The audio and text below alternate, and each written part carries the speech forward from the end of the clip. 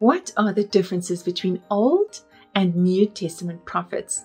And how do prophets receive revelation? Last time we had a look at prophetic words that have the power to change a person's destiny and future, as well as bring transformation in a city and a nation. Ministries are birthed from prophetic words and people receive physical and emotional healing. Prophecy can even bring unbelievers to salvation in Christ.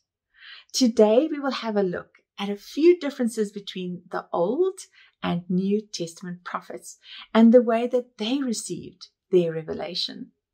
But let's start with the differences between a seer and a prophet and how they received their revelation.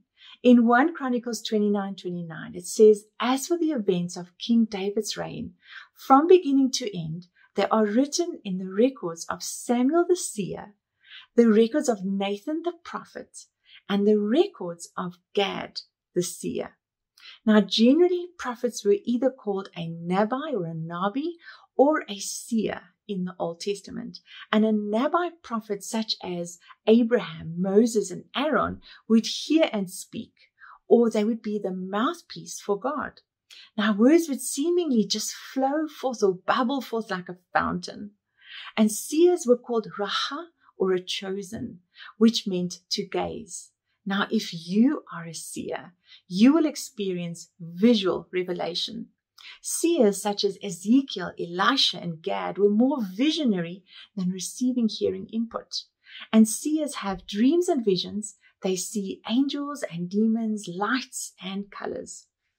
Now, prophets spot or identify where God is at work in people's lives, and then they speak life and growth into that bad situation. But prophets also need to wait for the perfect moment to prophesy, which is God's perfect timing.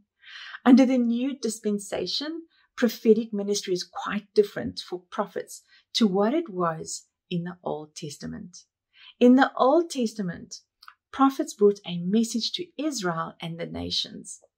Corporate focus placed an emphasis on which Israel or Judah continued to suffer for the sins of their fathers, or idol worship, or backsliding, just to mention a few. The New Testament prophets and prophetic people focus mainly on personal prophecy, according to 1 Corinthians 14, verse 3, which says, But the one who prophesies speaks to people for their strengthening, encouraging, and comfort. Now, there is more to prophecy than only personal prophecies. And so, prophecy should give solution to our modern day problems. But more on that at a later stage. Examples of prophetic ministries can be found in the New Testament. Uh, for example, have a look at Acts 10 and 11, where Peter falls into a trance on a rooftop and he sees a vision of a sheet containing forbidden animals. He hears the audible voice of God saying to him, Rise and eat. The fruit from this vision was that salvation was for the Gentiles.